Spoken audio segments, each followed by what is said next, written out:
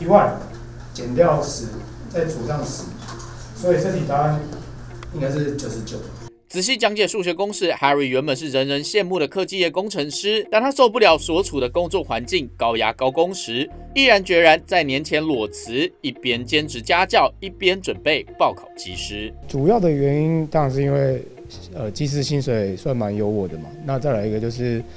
呃，我自己是蛮喜欢旅游的，即便放弃超过十五万的年终奖金，也要勇敢追梦。根据人力银行调查，近期有百分之四十八的民众曾经想过要在农历年前换工作，其中百分之六点七的民众已经找到新工作，也有百分之十五点一的民众陆续上网投履历，只有百分之四点二的上班族没有转职念头。而这些想转职的民众，绝大部分是想要借由换职场来提高自己的薪资、薪水、福利，还有就是这个工作未来的展望，这样对。就是有没有升迁的空间啊？然后还有自己就职涯上的一些规划，这样。对啊，主要就是工作以自己开心为主。那如果真的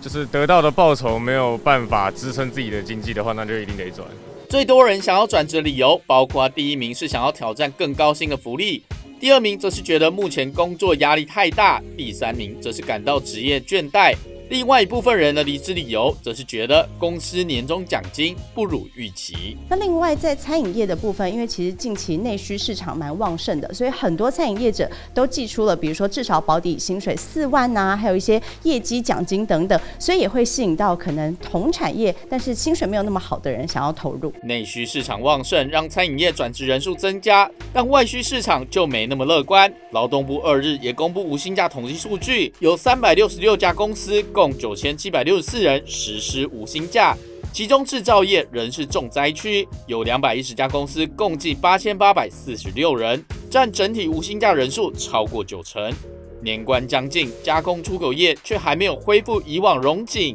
也让劳工不禁感叹这个年不好过。《今日报》陈玉阳、凯俊台北采访报道。